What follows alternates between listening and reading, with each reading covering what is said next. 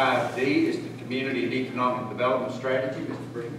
Mr. Chairman and Commissioners, you will remember that several months ago, we came before you with a request uh, for a contribution of $25,000 for the Community and Economic Development Strategy.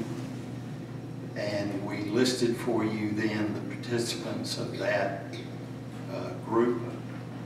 We have at your request um, submitted now to you a memorandum of agreement to fund this strategy, and it would require action by the board. Any questions for Mr. Breen?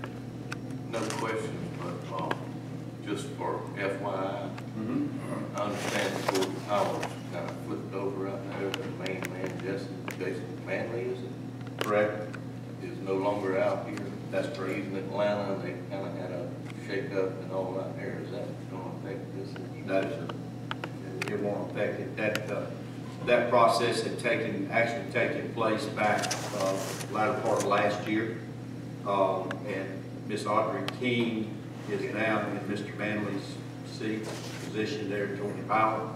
Um, and initially, when all of this actually started coming forward, it was my understanding that, that Mr. Manley was communicating with Ms. King in regards to the whole process, and so she's, she's on board. Thank you. Any other questions? Okay. We'll move on to agenda item